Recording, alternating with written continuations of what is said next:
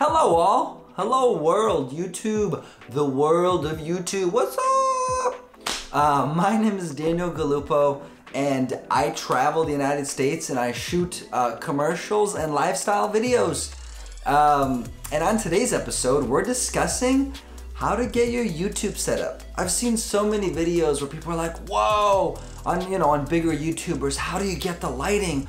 How do you make it all look good? And they're using like thousand dollar lights for a YouTube video. That's I thought to myself, why not let you all know a little secret. I'm sure there's other videos like this, but I'm doing my own thing. So if you want to watch my video, cool. If you want to watch somebody else's, also cool. Anyways, let's get into it. How to make your YouTube setup in under $50.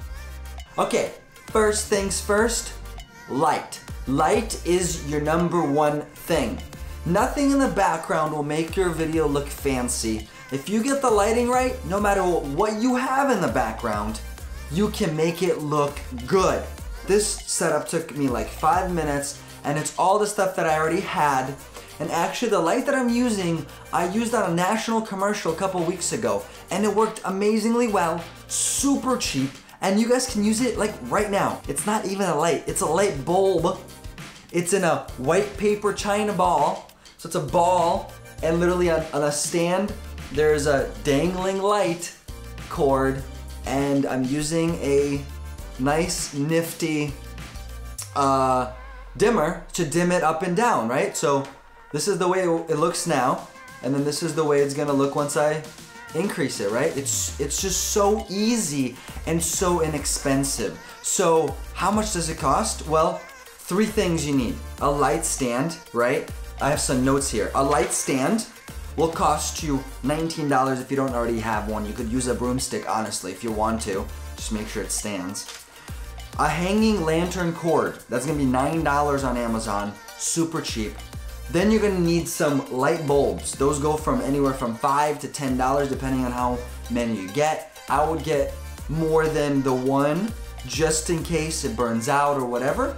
These are the light bulbs that I'm using. It's an LED 100 watt light bulb. It's daylight white, um, medium base, great value. Look at this. I'm not sponsored or anything, but these are the light bulbs that I'm using, right? It'll cost you a total of $46. If you want the dimmer, it's gonna be another $7, $6. So another $6, that'll bring you up to $50. You're gonna have a light that looks like a $1,000 light.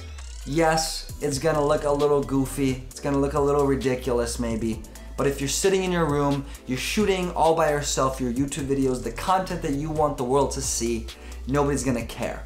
Yes, if you're doing now, if you're gonna go to clients and you're gonna say, hey, let me shoot your videos and you bring this thing on, on location, you might get some looks, but hey, it's cheap. So it's gonna look cheap. Like that's the reality of it all but it looks incredible. The results are incredible, honestly, for the amount of money that you're spending on it. $46 for a complete light setup. It gives you this really nice, um, even light, so you don't have this harshness about the light because it's a it's a ball. I, am Lithuanian, so I don't know how to say ball right. Sometimes I say it wrong. The light wraps around your face and it, it causes just this beauty lighting, um, especially if you're lighting women. Um, that's perfect for women because uh, you want that nice round light so it looks even and beautiful. And guys, to the point of how important lighting is, I wanna show you, I am right now using my Sony a7R III, which is a pricey camera. It runs about $3,200, and I'm zoomed into about 20, 28 millimeters right now, um, with a basically pretty standard lens. Um, but I wanted to show you what it would look like with my iPhone. The same setup. The only thing that has changed, it's a little bit to the left side, so the shot is a little different, but you can tell the quality. Hi guys, Dan Galuppo here, recording with my iPhone, the same lighting setup.